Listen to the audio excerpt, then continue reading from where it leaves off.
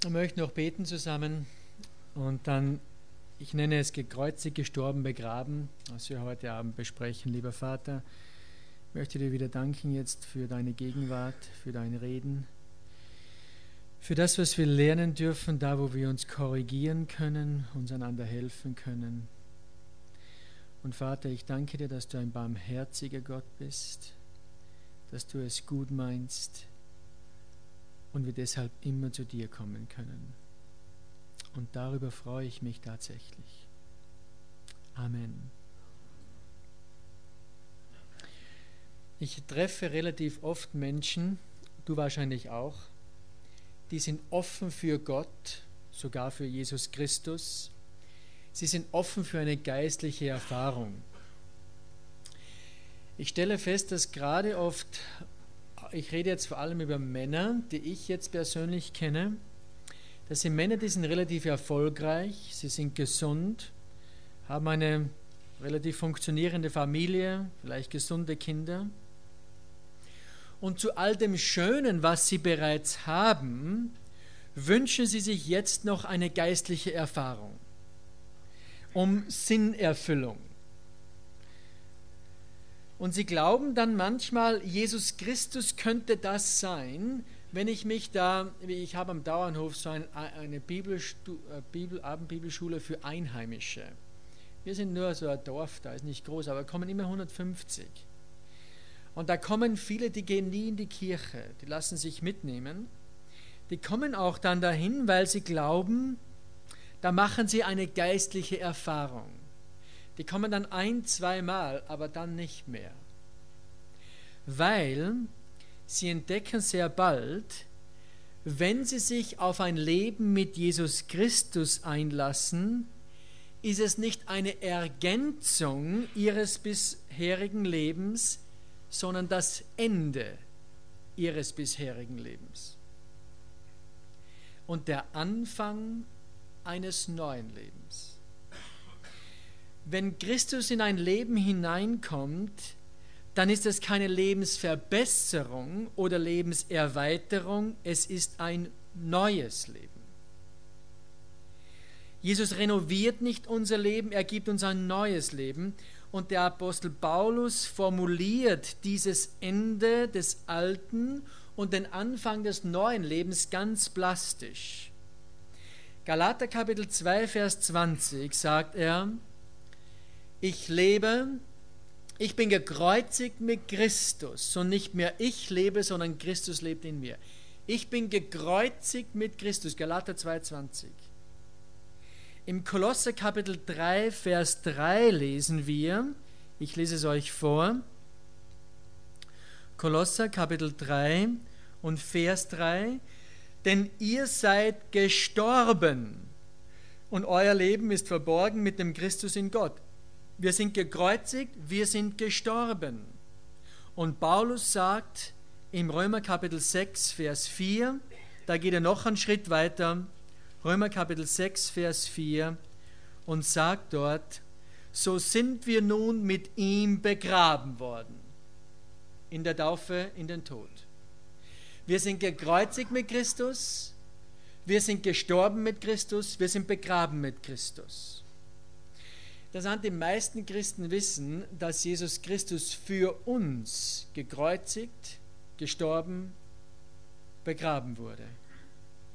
Aber viele Christen wissen nicht, dass sie mit Christus gekreuzigt, gestorben und begraben sind.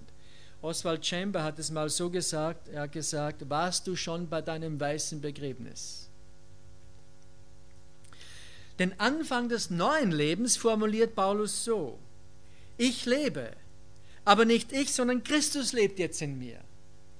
Ich bin auferstanden mit Christus und er ist die Kraft in meinem Leben. Übrigens etwas an der Seite, aber sehr oft beten wir Christen um Kraft. Ich bin mir nicht sicher, ob das korrekt ist. Ich glaube nicht. Wir lesen, ich könnte euch viele zeigen, im Alten Testament vor allem, das lesen wir sehr oft, die Psalmisten, Gott, du bist meine Kraft. Er ist meine Kraft. Nicht ich bitte dich um Kraft. Wisst ihr, was der Unterschied ist? Der Unterschied ist fast wie Tag und Nacht. Wenn ich sage, Herr Jesus, ah, heute habe ich viel vor mir, das und das und das, aber ich bitte dich, gib mir ein bisschen Kraft. Damit, ich sage nicht, dass man das immer so meint, aber ich sage nur im extremsten Fall, heißt es, Herr Jesus, ich bin der Boss und ich mache es, wie es mir recht erscheint, aber falls ich es nicht schaffe, wäre es nett, wenn du mir ein bisschen extra Kraft gibst. Wenn ich aber sage, Herr Jesus, du bist meine Weisheit und meine Kraft, mach das, was du möchtest, dann ist er der Boss und ich sein Diener. Das sind so kleine Nuancen manchmal, wo wir uns manchmal in den Unglauben hineinbeten. Oder dieses Gebet, Herr, bitte sei mit mir heute, geh mit mir. Und ich glaube, Gott fragt sich manchmal schon, ja, wo glaubst du, wo ich bin? Jesus hat gesagt, ich bin mit dir alle Tage bis an das Ende der Welt. Und wisst ihr, was wir lernen müssen? Gott zu danken, dass er mit uns ist. Anstatt ihn dauernd um Dinge anzubetteln, die er sowieso schon versprochen hat. Natürlich im seelsorgerlichen Sinne es gibt Zeiten, da geht es uns wirklich schlecht. Es ist, macht keine, nicht im falschen Sinne ein Prinzip daraus. Seelsorgerlich kann man natürlich beten, Herr, bitte sei bei mir. Und Gott sagt nicht, frag nicht, so blöd bin er sowieso da. Nein, seelsorgerlich ist okay, aber von der Theologie her müssen wir verstehen lernen, dass er bei uns ist und wir lernen sollten, ihm zu danken, dass er da ist, in der Gewissheit seiner. Gegenwart zu leben. Auf jeden Fall, wir sind gekreuzigt, gestorben und begraben. Ich vergleiche das manchmal auch wieder mit Single und mit Eheleben. Wenn zum Beispiel ein Mann eine Frau heiratet, dann gibt er sein bisheriges Single-Leben auf, um frei zu werden für ein Leben mit seiner Ehefrau. Und der Unterschied zwischen Single-Leben und Eheleben ist bemerkenswert. Bis gestern war ich in, allein in meinem Zimmer oder auch nicht. Ab heute bin ich zu zweit. Bis gestern hat alles mir alleine gehört, jetzt gehört es mir und meiner Frau. Bis gestern führte ich Selbstgespräche, heute ist jemand neben mir. Bis gestern tat ich, was ich für recht hielt, heute bespreche ich alles mit ihr, was recht ist. Das heißt, der alte Single muss sterben, damit der neue, vereinte Mensch leben kann. Ähnlich ist es, wenn ein Mensch beginnt mit Gott zu leben. Wenn ein Mensch ein Leben mit Christus beginnt, dann gibt er sein bisheriges Single-Leben auf. Er muss seinen gottlosen Leben sterben, um frei zu werden für ein Leben mit Gott. Und der Unterschied ist wieder bemerkenswert. Bis gestern habe ich so gelebt, als ob es Gott gar nicht gibt. Heute ist mir bewusst, dass Gott bei mir ist, jede Sekunde meines Lebens. Bis gestern habe ich keine Minute daran verschwendet, Gott zu fragen, was sein Wille ist. Heute frage ich um den Willen Gottes für meinen Tag. Bis gestern war ich mir nur selbst verantwortlich. Heute weiß ich, ich bin Gott verantwortlich mit dem, was ich bin und tue. Bis gestern habe ich alles aus eigener Kraft getan. Heute darf ich aus seiner Kraft leben. Es ist wie Tag und Nacht aber der alte, selbstbestimmte Mensch muss sterben, damit der neue, von Christus abhängige Mensch leben kann. Und die Frage ist nun, wie geht das? Seht ihr, das sind alles so theologische Phrasen. Ja, mit Christus gekreuzigt, gestorben, begraben. Ja, aber ich lebe doch. Ja, wie jetzt? In der Früh, wenn ich Zähne putze, putze ich die Zähne oder Christus in mir? Wer macht das jetzt? Und mich hat immer getrieben und es treibt mich, wie funktioniert etwas. Denn Wahrheit muss funktionieren. Und was wir jetzt tun, ich nenne es die große Prüfung. Äh, schlagt auf 2. Korinther 13, Vers 5. Da haben wir eine Prüfung formuliert vom Apostel Paulus und er formuliert die Prüfung folgendermaßen. 2. Korinther Kapitel 13 und Vers 5. Und das ist auch dann, wofür ihr die Zettel bekommen habt. Es ist eine Prüfung. 2. Korinther 13, Vers 5 sagt Paulus, prüft euch, ob ihr im Glauben seid. Untersucht euch. Das heißt, du bist jetzt dein eigener Arzt. Untersuche dich selbst. Wenn du wissen willst, ob du im Glauben bist, hier ist die Prüfung. Und dann sagt er, oder erkennt ihr euch selbst nicht, dass Jesus Christus in euch ist? Es sei denn, du bist durchgefallen. Was ist die Prüfung? Erkennst du nicht, sagt Paulus, dass es jetzt Christus ist, der in dir lebt? Und wenn du das nicht erkennst, hast du die Prüfung nicht bestanden. Das ist die Prüfung. Nun, das klingt wieder sehr theologisch. Ja, wie jetzt?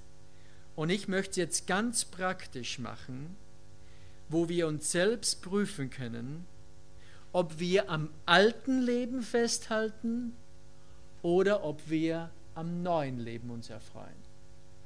Und übrigens, ich habe diesen, was ich jetzt sage, wahrscheinlich schon 50 Mal oder öfter, ich weiß es nicht, gemacht. Und es ist eine Sache, die muss ich immer wieder machen, auch selber vor Gott. Und auf euren Zetteln, da habt ihr auf der Seite 1, steht rechts oben, da steht auf der Seite 1, hier ist die Prüfung, ob ich gelernt habe, mein Leben aufzugeben, mich Gott unterzuordnen, meine Rechte zu übergeben, oder ob ich mein Leben selbst bestimme, das alte Leben lebe. Und dann habe ich geschrieben, Rechte, die ich beanspruche. Und hier können wir es festmachen. Wisst ihr, was auch interessant ist? Wir sagen zwar immer, ich möchte, dass die Theologie praktisch wird. Ich möchte wissen, wie das funktioniert. Und manchmal stelle ich fest, dass wir sagen, lieber wäre es mir gewesen, ich hätte es nicht so praktisch gehört. Aber wir werden jetzt ganz praktisch werden, soweit es von meiner Seite ausgeht. Wir halten an Rechten fest, das ist das alte Leben, an Rechten, die wir glauben zu haben, die uns aber niemand gegeben hat. Und das Erste, was ich aufgeschrieben habe, ist das Recht auf Selbstverwirklichung. Manchmal glauben wir, wir haben ein Recht darauf, unser Leben selbst zu bestimmen. Ein Recht darauf, meine Ziele zu erreichen, ein autonomes Leben zu führen. Autonom, autonom kommt von zwei griechischen Wörtern, Autos und Nomos. Autos heißt selbst, davon kommt das Wort Auto, weil das fährt von selbst. Du musst nur drinnen sitzen und fahren. Und Nomos heißt Gesetz. Ich bin mir selbst mein eigenes Gesetz. Ich habe das Recht auf ein, ein autonomes Leben. Und die Frage, die ich mir gestellt habe, ist die, wer hat mir dieses Recht eigentlich gegeben? Und die Antwort ist niemand. Ich weiß nicht, wo das Recht geschrieben steht, dass wir ein Recht haben auf ein autonomes Leben. Ich habe es noch nirgends gefunden. Zweitens, wir glauben auch ein Recht zu haben auf Beziehungen. Wir glauben darauf, ein Recht zu haben auf Freunde, auf eine Ehefrau, auf sexuelle Befriedigung, das Recht darauf, beliebt zu sein und Freunde zu haben. Seht ihr, ich darf etwas sagen, ich habe ein großes Vorrecht. Ich habe ein Vorrecht, drei gesunde Kinder zu haben. Das ist ein Riesenvorrecht. Ich habe ein Vorrecht, eine Frau zu haben. Nach 21 Jahren Ehe lieben wir uns nach wie vor. Das ist ein Riesenvorrecht. Aber wisst ihr was, wenn ich morgen nach Hause komme und eins meiner Kinder ist tödlich verunglückt oder erkrankt an einer schweren Krankheit, das wäre extrem schwer aber eins weiß ich, Gott hat kein Recht verletzt. Ich habe kein Recht auf gesunde Kinder. Ich habe kein Recht auf eine Frau, die mich liebt. Es ist ein Riesenvorrecht, wofür ich Gott jeden Tag danke. Aber sollte es mir morgen verweigert werden, hat Gott kein Recht verletzt. Wir glauben auch ein Recht zu haben auf Freiheit. Ist das Dritte. Das Recht, das zu tun, was ich will. das Recht, die Hobbys, den Sport ausüben zu können, wann und wo ich es will. Und wehe, jemand beschneidet mich, dann werde ich zornig, denn ich habe ein Recht darauf. Fällt euch übrigens auf, zwei und drei schließen sich gegenseitig aus. Wenn du Beziehung haben möchtest, dann vergiss Freiheit.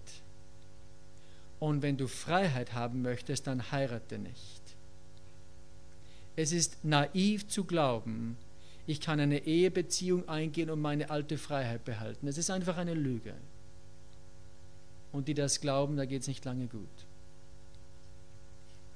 Das vierte Besitz. Wir glauben auch ein Recht zu haben auf Besitz. Auf unsere Wohnung, auf unser Haus, auf unser Auto, auf unseren Computer, Stereoanlage, was immer es ist. Und manchmal ist ja unser Besitz, bei Männern speziell das Auto, die Erweiterung ihrer eigenen Persönlichkeit. Darum werden manche Männer so zornig, wenn er das Auto zerkratzt. Wenn die Frau beim Aussteigen hinfällt und das Auto dabei zerkratzt, schaut er zuerst den Kratz an und dann schaut er auf die Frau. Seht ihr, wiederum, ich habe ein großes Vorrecht. Ich habe ein Vorrecht, ein eigenes Haus zu haben, sogar am Land. Ich habe ein Vorrecht, ein Auto zu haben. Und ich bin froh, dass ich eins habe, ist auch praktisch. Aber wenn ich morgen dieses Haus nicht mehr hätte, aus welchen Gründen auch immer, hätte Gott kein Recht verletzt. Ich habe kein Recht auf ein Haus. Es ist ein Geschenk. Wir glauben auch, das ist das nächste, ein Recht zu haben auf körperliche Gesundheit. Wir glauben, das Recht darauf zu haben, immer gesund, dynamisch, vital und hübsch zu sein.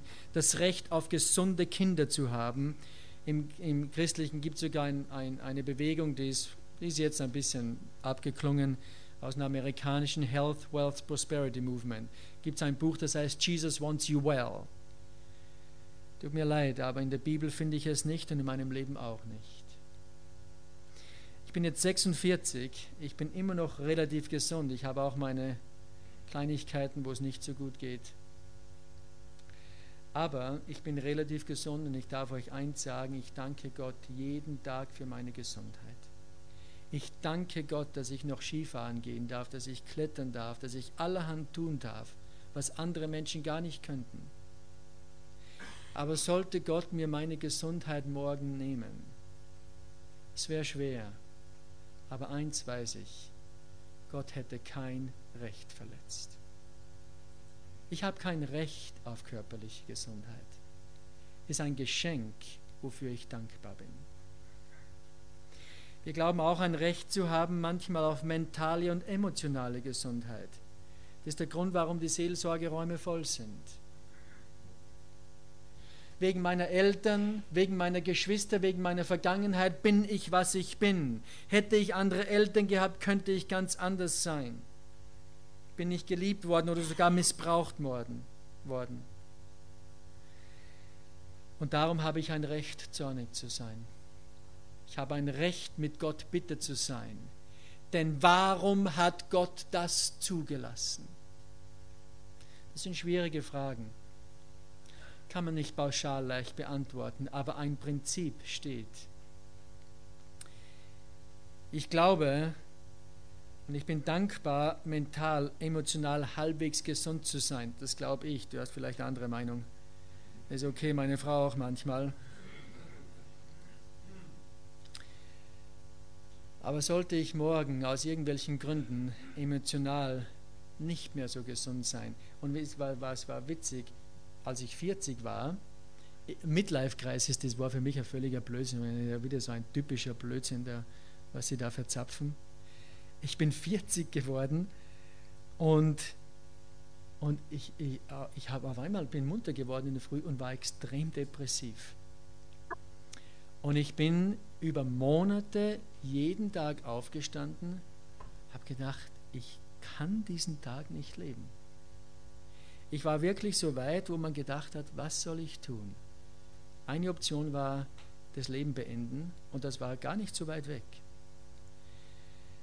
Ich, du bist so verzweifelt und ähm, ich habe damals einen lieben Freund angerufen, hat gesagt, wie es mir geht, und ich gesagt, schlecht.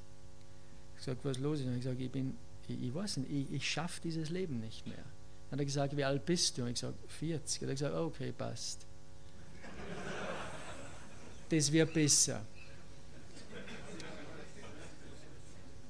Aber wisst ihr, was interessant war?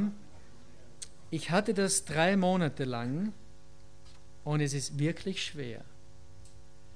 Aber wisst ihr was, ich bin Gott so dankbar dafür. Denn wenn ich vorher mit jemand oft geredet habe, gesunder, starker, erfolgreicher Mann, und dann erzählt er mir von Depressionen, haben wir so gedacht, ah, reiß dich da ein bisschen Zaum, nicht immer, reiß dich halt einfach Zaum, nicht? Das ist so ein Blödsinn. Das hilft kein bisschen. Und oftmals ein lieber Freund von mir, Rob Whittaker, der ist Bibelschulleiter in England, hat er gesagt, jedes Leid, das du durchmachst, gibt dir einen Schlüssel, um das Herz eines anderen zu öffnen. Und darum ist Leid oft so etwas Wunderschönes von Gottes Perspektive. Das nächste, was ich aufgeschrieben habe, ist Komfort und Bequemlichkeit. Wir haben manchmal das Gefühl, es muss immer alles bequem und komfortabel gehen. Ich muss die richtige Raumtemperatur haben. Wer von euch Sekretärinnen oder so hat, der weiß das. Eine macht das Fenster auf, die nächste macht es wieder zu, die andere wieder auf und dann wird es schon ein bisschen kritischer, weil jeder hat das Recht auf die richtige Temperatur. Es ist wiederum schön, wenn es bequem ist. Ich liebe es auch bequem. Ich liebe es bequem. Ich bin kein Masochist oder was. Aber wenn es mal nicht bequem ist, ist es völlig okay. Manchmal auf Skitouren, da ist manchmal extrem kalt oder in der Höhle. Ich bin Höhlenforscher auch, wir gehen auch mit Leuten in die Höhle, wir schlafen auch in der Höhle, aber es ist sehr unangenehm. Kalt, feucht, nass, dunkel. Und ähm, dann sind die Leute nass oder kalt und zittern und so. Und dann merkst du, jetzt werden sie, die bezahlen ja dafür, gell?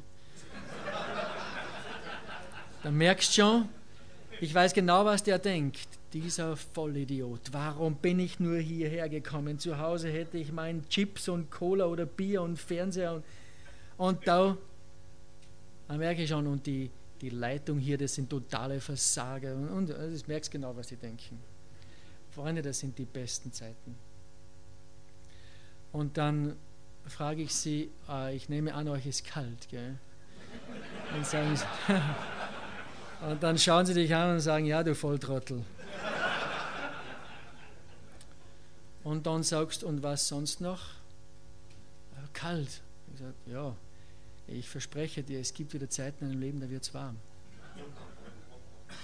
Momentan ist es nur kalt. Und wisst ihr was? Es ist nichts falsch daran. Es ist halt kalt. Es wird dann wieder warm. Mir gefällt so Sprüche Kapitel 3, es gibt eine Zeit für alle Dinge. Es gibt eine Zeit zum Weinen, Prediger, entschuldige. Es gibt eine Zeit zum Weinen, es gibt eine Zeit zum Lachen. Es gibt eine Zeit zum Lieben, es gibt eine Zeit zum Hassen. Alles hat seine Zeit. Und wir sollten nicht andauernd versuchen, jederzeit nur davon zu laufen. Es ist gut. Glaubt nicht, dass ich Kälte liebe. Ich hasse Kälte. Aber es gehört zum Leben dazu. Manchmal glauben Christen auch oder Menschen, sie haben Recht auf Anerkennung, gerade bei Christen. Ich habe ein Recht, anerkannt zu werden. Und unter Christen, haben so öfter er hat sich nicht einmal bei mir bedankt. So furchtbar, jetzt komme ich nicht mehr in die Kirche. Und bei manchen Christen sollten sogar die Hände in die Bäume klatschen, wenn sie mal was Gutes tun. Wisst ihr was? Wir sollten Hände in die Bäume klatschen, Bäume in die Hände klatschen, oder wie? Wisst ihr was? Wir sollten andere Menschen immer anerkennen. Schenkt Anerkennung, so viel du kannst. Es tut uns gut. Aber weißt du was? Wenn du einmal nicht anerkannt wirst, es ist völlig okay. Du kannst entspannt bleiben. Es hat niemand ein Recht verletzt. Wir haben kein Recht auf Anerkennung. Es ist ein großes Vorrecht, aber kein Recht. Wir glauben auch ein Recht zu haben auf Verständnis, gerade unter Christen. Wir glauben ein Recht darauf zu haben, verstanden zu werden. Und Christen sind da manchmal besonders. Sie glauben ein Recht zu haben, verstanden zu werden, ohne ihr Anliegen kundzutun. Es gibt Leute, die sind vom Dauernhof nach Hause gefahren. Ich weiß, sie sagen zu Hause, jetzt war ich eine Woche am Dauernhof, da hat mich niemand verstanden. Und dann triffst du ihn zufällig und sagst, ja, hast du jemand erzählt, wie es dir geht? Nein, das nicht, aber es hat mich niemand verstanden. Aber Christen sollten es ja riechen. Es ist wichtig, dass wir uns mitteilen. Und wiederum, wir sollten Verständnis aufbringen, so weit und so gut es uns möglich ist. Aber ich möchte noch etwas sagen wenn du einmal nicht verstanden wirst, auch jetzt bei diesen Vorträgen, du kannst dich vollkommen entspannen. Es hat niemand ein Recht verletzt. Wir glauben auch ein Recht zu haben auf Gerechtigkeit. Wir glauben das Recht zu haben, immer fair und anständig behandelt zu werden. Wenn du das glaubst, wirst du den Rest des Lebens bitter leben müssen, denn du erlebst jeden Tag Dinge, die nicht fair sind. Aber wisst ihr was, Freunde, ist okay. Wir sollten, soweit es an uns liegt, immer gerecht handeln. Gerade mit unseren Mitarbeitern, mit unseren Kindern, mit den Leuten, die uns am nächsten sind. Gerecht handeln. Aber wenn dir einmal nicht recht geschieht, es ist okay. Wir glauben auch, das nächste ist Sicherheit, ein Recht zu haben auf Sicherheit, gerade in unserer heutigen Zeit. Alles muss so sein, damit mir nichts äh, nichts passiert, auch meinen Kindern darf nichts passieren. Und wenn was passiert, dann muss ein Schuldiger gesucht werden. Das ist eine völlig unbiblische Praxis. Außer es gibt einen tatsächlich Schuldigen, das ist was anderes. In Amerika ist dieses Suing Business, wird es genannt, die Anklagementalität. Ich war Skilehrer in Amerika, da war ich die erste Woche da und da äh, ich kannte das Gebiet noch nicht so gut, bin eine Piste runtergefahren, die war ein bisschen zu steil für meine Gruppe, ein paar Mal hingefallen. Eine Frau war dabei, ganze Woche, die hat mir am Ende der Woche ein Buch geschenkt, wo sie, das habe ich heute noch zu Hause. Es war die schönste Woche meines Lebens, da, da, da, all das Zeug. Drei Monate später habe ich einen Anruf bekommen von der Stratton Mountain Company, dieses Skigebiet dort. Eine Frau hat sie verklagt, weil sie hatte einen Skilehrer, der hat sie eine zu steile Piste runtergeführt, sie ist zweimal hingefallen, seitdem hat sie Kopf für eine Million Dollar. Und ich muss auch sagen, und wisst ihr, was ich sage? Oft unseren amerikanischen Freunden, lass dich nie auf dieses Suing-Business ein. Es kann sein, dass du viel Geld gewinnst, es kann aber auch sein, dass du den Segen Gottes verlierst. Es ist eine völlig unbiblische Praxis. Wir sind selbst verantwortlich für das, was wir tun. Natürlich, wo es einen Schuldigen gibt, gibt es einen Schuldigen, das ist keine Frage aber nicht dieses, diese Mentalität, immer einen Schuldigen zu suchen. Aber das kommt davon, weil wir glauben, ein Recht zu haben auf Sicherheit. Freunde, dieses Leben ist nicht sicher. Es ist tödlich. 100 Prozent. Eins weiß ich von euch, jeder stirbt. Auch wenn ich dich nicht kenne. Der Tod ist die sichere Statistik, einer aus einem stirbt. Wir glauben auch ein Recht zu haben auf Abenteuer. Wir glauben ein Recht zu haben, Dinge zu tun, gerade Männer, die aufregend sind, Adrenalin, darum klettern wir auf dem Himalaya und so Idioten wie ich auch auf so Berge. Aber da ist etwas dran und darum gehen wir Grizzly schießen nach Alaska und darum verlässt man als 40-Jähriger seine Frau, weil man muss noch ein Abenteuer mit einer 20-Jährigen haben und so weiter. Das kommt darauf, man glaubt ein Recht zu haben auf Abenteuer. Nun wiederum, ich liebe Abenteuer. Und ich danke Gott für das Abenteuer, das ich haben durfte. Aber wenn es nicht mehr der Fall ist, und ich musste viel zurückschrauben, und es fällt mir nicht schwer. Ab und zu wünschte ich mir, früher bin ich im Jahr sicher 40, 50 Touren gegangen, jetzt gehe ich vier oder fünf. Weil ich festgestellt habe, ob ich jetzt die eigene Nordwand oder den Himalaya oder sonst einen Berg erklimme, es rettet keinen einzigen Menschen. Wenn ich aber Menschen von Jesus erzähle, werden Leben verändert für eine Ewigkeit. Darum ist es für mich viel spannender geworden, Christus zu predigen, als Wände zu besteigen, so sehr ich das liebe. Übrigens seht ihr, dass sich Sicherheit und Abenteuer ausschließt. Wenn du Sicherheit haben willst, vergiss auf Abenteuer. Und wenn du Abenteuer haben willst, vergiss Sicherheit. Und das Letzte, wir glauben auch ein Recht zu haben auf Leben an sich. Wir glauben ein Recht zu haben, 80 Jahre alt zu werden. Wir glauben ein Recht zu haben, die Hochzeiten unserer Kinder sehen zu dürfen. Ein großes Vorrecht. Wenn ich die Hochzeiten meiner Kinder sehen darf, das ist, da freue ich mich drauf. Aber wenn es nicht so sein wird, hat Gott kein Recht verletzt. Aber nicht an einen vorzeitigen Tod.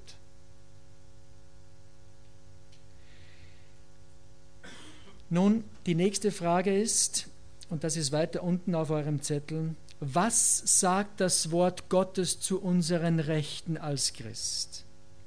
Und ich habe da drei Punkte. Erstens, alle unsere Rechte wurden aufgekauft am Kreuz von Golgatha. Schlag bitte auf Römer Kapitel 14. Ich habe euch mehrere Bibelverse hingeschrieben, die könnt ihr selbst dann lesen. Ich lese nur den ersten, Römer Kapitel 14, Verse 7 und 8. Da schreibt der Apostel Paulus,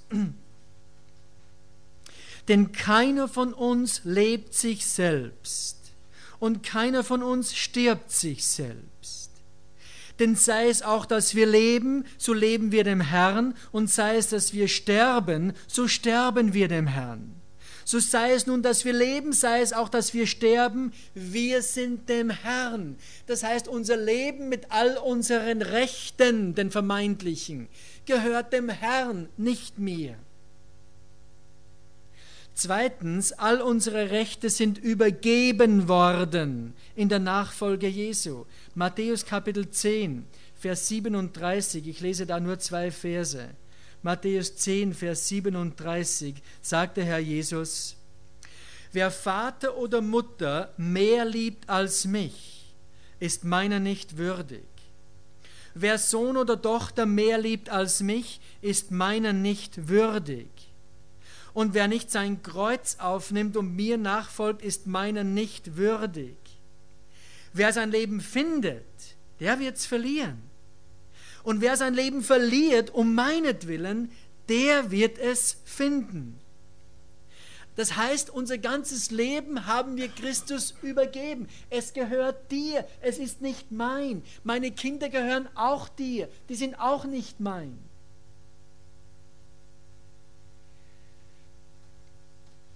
Mein Schwager, der wohnt in Neuseeland, war gerade hier und äh, seine Frau mit den zwei Kindern sind vor ihm geflogen und er hat sich gesorgt, wird das alles gut gehen? Und da hat Gott zu ihm gesprochen am Flughafen, hat zum Paul gesagt, Paul, das sind nicht deine Kinder, das sind meine Kinder. Und ich werde auf meine Kinder schauen, wie ich es für gut befinde. Er erlebte eine solche Freiheit von einer Sorge. Es war gerade kürzlich. Das dritte und letzte, bis jetzt wirst du denken, schaut nicht allzu gut aus. Und was bleibt mir überhaupt noch übrig? Punkt Nummer drei. Alle unsere Rechte, wenn wir sie Gott unterordnen, werden zum Segen. Und ein Beispiel nur, und das beste Beispiel ist Abraham. Abraham wurde versprochen von Gott. Also wurde gesagt, Abraham, ich gebe dir Nachkommen so zahlreich wie die Sterne am Himmel, wie der Sand am Meer. So viele Nachkommen wirst du haben. Er war 100 Jahre alt, bekam seinen ersten Sohn von seiner eigenen Frau. Und als dieser Sohn vielleicht ein Teenager oder was immer war, sagte Gott zum Abraham, Abraham, ich möchte, dass du deinen Sohn, ähm, dass du ihn tötest. Wenn ein Mann das Recht hatte auf einen Sohn, dann war es Abraham. Aber Abraham hat nicht auf sein Recht bestanden. Er hat gesagt, Gott, im Hebräerbrief lesen wir, wenn ich den Sohn töten muss, muss ihn halt du für einen Toten auferwecken. Das ist dein Problem. Ich vertraue dir. Und weil Abraham nicht auf sein Recht bestand, hat Gott ihm all seine Rechte zum Segen gemacht. Und heute, jeder, der hier sitzt, du bist ein Kind Abrahams. Er hat tatsächlich Kinder wie Sterne am Himmel und Sand am Meer. Und Paulus, das zeige ich euch noch, Paulus hat all seine Rechte aufgegeben. Geht zu Philippa Kapitel 3. Wenn einer Rechte hatte, dann war es Paulus. Und im Philippa Kapitel 3 zählt Paulus seine Rechte auf. Und da lesen wir im Vers 4, obwohl auch ich Vertrauen auf Fleisch, das heißt auf mich selbst haben könnte. Wenn irgendein anderer glaubt, auf sich selbst vertrauen zu können, ich noch mehr. Und jetzt kommen seine Rechte. Ich bin beschnitten am achten Tag vom Geschlecht Israel, vom Stamm Benjamin, Hebräer von Hebräern, dem Gesetz nach ein Pharisäer, dem Eifer nach ein Verfolger der Gemeinde, der Gerechtigkeit, die im Gesetz ist, untadelig geworden. Und weißt du, was Paulus dann sagt? Aber was auch immer mir Gewinn war, das habe ich um Christi willen für Verlust gehalten. Ja, wirklich, ich halte alles für Verlust, um der unübertrefflichen Größe der Erkenntnis Jesu Christi, meines Herrn willen, um dessen Willen ich alles eingebüßt habe und es für Dreck halte, damit ich Christus gewinne. Und als Paulus bereit war, all seine Rechte aufzugeben, was hat Gott dann getan? Er hat ihn gesegnet. Und wir sind jetzt gerade, meine Brüder, Gesegnete durch den Brief des Paulus. Und jetzt kommt das Persönliche, das ist auf der zweiten Seite. Wie sollten wir nun biblisch mit unseren Rechten umgehen? Und das ist etwas ganz Persönliches. Jeder von euch kann sich frei entscheiden, das zu tun oder nicht zu tun. Äh, dann hör einfach auf dich und, und mach, was du glaubst, du tun sollst. Aber die Erfahrung meines Lebens und auch das vieler anderer Christen ist, erstens, identifiziere das Recht, das du glaubst zu haben. Und hier beginnt, ich nenne es, die innere Turbulenz. Es ist unangenehm. Weißt du, wenn wir ehrlich sind vor Gott, wenn wir vor Gott kommen und sagen, Gott, es gibt ein paar Dinge, ohne die bin ich nicht bereit zu leben. Die gebe ich nicht aus meiner Hand. Das sind die Dinge, wo du sagst, ja, mit Jesus leben ja, aber das auch. Es kann sein, oft bei Single-Leute, die sagen, ja, Christ sein, ja, aber ich muss heiraten. Ja, Christ sein, ja, aber meine Kinder müssen bewahrt bleiben. Christ sein, ja, aber nach China gehe ich nie. Was, an was ist es, was wir nicht loslassen? Und da habe ich einfach geschrieben, sei ehrlich mit dir selbst, belüge dich nicht selbst. Es tut manchmal ein bisschen weh. Nicht nur ein bisschen, manchmal sehr. Darum nenne ich es den Verwundungsprozess. Hosea 6, Vers 1 lesen wir, Gott schlägt Wunden, aber er heilt sie auch. Und manchmal muss eine Wunde geschlagen werden, um einen Tumor zu entfernen und die Heilung setzt erst dann ein. Es tut nämlich weh festzustellen, wo, ich, wo mein Stolz mich geleitet hat. Wenn ich das zugebe, sage ja, stimmt, habe ich festgehalten. Was immer die Dinge sind, du brauchst übrigens keinen Psychiater, um die Dinge herauszufinden, der Heilige Geist ist treu. Wenn du ehrlich vor Gott gehst und sagst, Gott, was ist es, was zwischen dir und mir steht. Er ist extrem treu, dir diese Dinge zu zeigen. Das sind ein paar Zeilen, da kannst du eventuell das eine oder andere aufschreiben, was Gott dir zeigt. Und dann das zweite, übergib all diese Rechte an Gott. Ich nenne es das Gebet der Übergabe. All die Dinge, an denen ich mich festhalte, ob das mein Erfolg ist, meine Beziehungen, meine Kinder, meine Gesundheit, was immer es ist, das nehme ich und sage, Herr, es gehört alles dir. Es gehört alles dir. Nimm es, gib es zurück. Keine Ahnung. Dein Wille geschehe. Und Freunde, das ist nicht leicht. Das ist wie beim Abseilen. Wir machen sehr viel im Sommer mit Klettern. Da stehst du oben, du hängst am Seil, es geht hier senkrecht oder überhängend runter 10, 20 oder 30 Meter ist egal, Hauptsache das Seil ist länger, wie der Felsen hoch ist. Und dann stehst du da oben, du hast alles gelernt, das Seil hält zweieinhalbtausend Kilogramm, du hast 70 Kilogramm, das, das weißt, das hält alles. Und dann kommt der Moment, wo du dich zurückfallen lassen musst. Das fällt vielen extrem schwer. Man hält sich an allem fest. Felsen, Gras, Bergführer, alles, was man irgendwie erwischt. Und dann, früher oder später, mit oder ohne Hilfe, fällt er zurück. Entschuldigung. Genau so. Und dann hängt er im Seil. Wisst ihr, was Martin Luther mal gesagt hat? Ich hänge über einem tiefen Graben an einem seidenen Faden, aber der Faden hält. Das ist genau das Gefühl. Du hast das Gefühl, ich habe nichts mehr in der Hand. Gott, alles dir. Und das ist diese Übergabe. Gott, ich habe mich an dem und dem festgehalten neben dir. Gehört dir. Ich bin gekreuzigt, gestorben und begraben. Und du lebst in mir, das ist die Prüfung. Und dein Auferstehungsleben, das soll zum Ausdruck kommen. Ich möchte dir noch erzählen etwas ganz Persönliches. Aber das war vor 16 Jahren, 1992, habe ich es aufgeschrieben.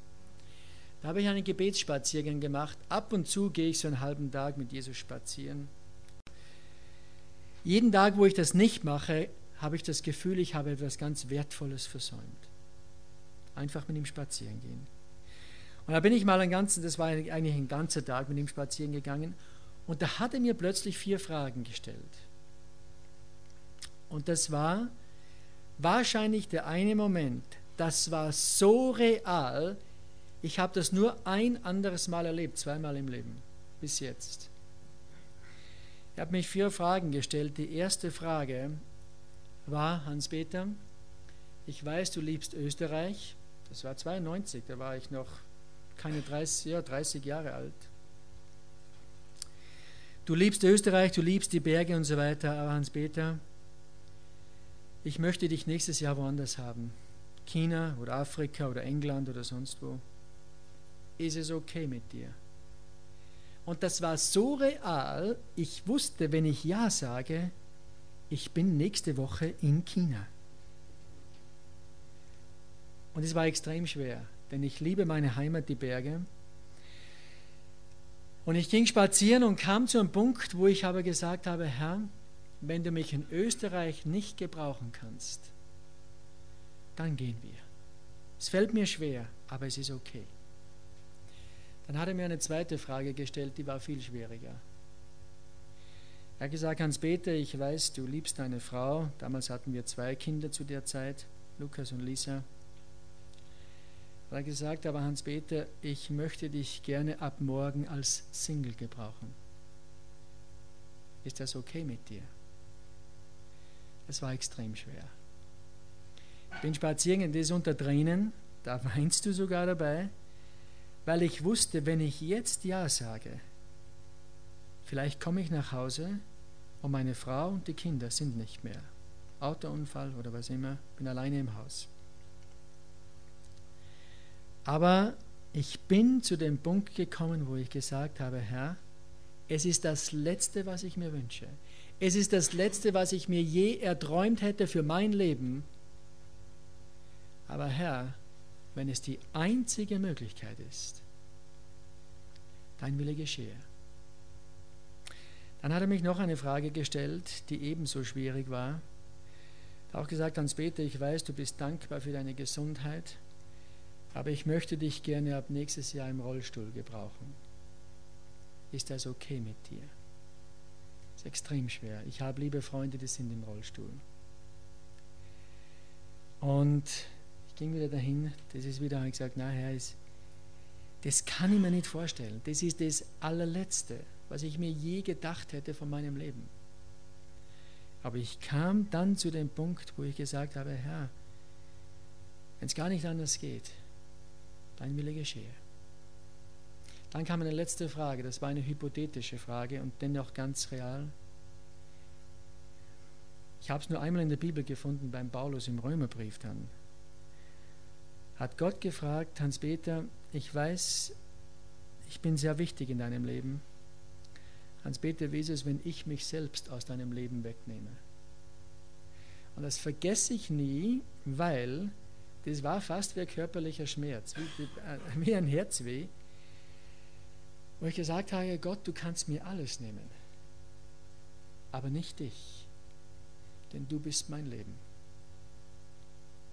Nach diesem Gebet habe ich zum ersten Mal verstanden, was Paulus sagt in Philippa 1,21. Mein Leben, das ist Christus. Sterben ist mein Gewinn. Und wisst ihr, was ich in diesem Moment auch zum ersten Mal erfahren habe? Totale Freiheit.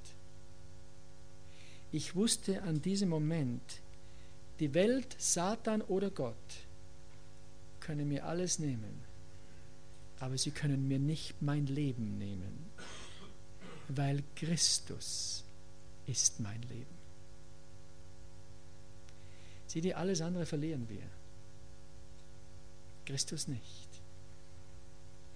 Und da wird es ganz praktisch. Das sind keine theologischen abgehobenen Wahrheiten, gekreuzigt, gestorben, begraben mit Christus. Das ist Realität im Alltag. Das dritte, der dritte und letzte Punkt, entschließe dich Gott zu danken, was auch immer die Konsequenzen. Wenn du dieses Gebet gesprochen hast, danke Gott für all das, was kommen wird. Denn Gott ist darin, es wird gut sein. Übrigens, noch nebenbei, Gott hat uns ein Recht tatsächlich gegeben. Und darauf darfst du pochen, denn dieses Recht ist geschrieben. Schlagt auf Johannes Kapitel 1, Vers 12. Johannes 1, Vers 12. Das einzige Recht, das ich in der Bibel gefunden habe. Aber dieses Recht haben wir. Johannes 1, Vers 12. So viele ihn, Jesus, aber aufnahmen, denen gab er das Recht, Kinder Gottes zu werden, denen, die an seinen Namen glauben, die nicht aus Geblüt, auch nicht aus dem Willen des Fleisches, auch nicht aus dem Willen des Mannes, sondern aus Gott geboren sind. Ein Recht habe ich, nämlich das Kind Gottes zu sein. Und wenn ich einmal vor Gott stehe, vor seinem Thron, dann kann ich eins sagen, Gott, ich, ich, ich weiß, ich habe fast nichts gehalten, ich bin auch nicht würdig, das weiß ich auch. Aber Gott, du hast mir ein Recht gegeben. Ich bin dein Kind. Und auf dieses Recht kannst du beharren, weil das ist tatsächlich ein Recht, das dir gegeben wurde. Wenn du ein neues Auto kaufst und du bekommst die Garantie für ein Jahr und das Auto geht kaputt in diesem Jahr, hast du ein Recht, dass es repariert wird. Denn dieses Recht ist geschrieben.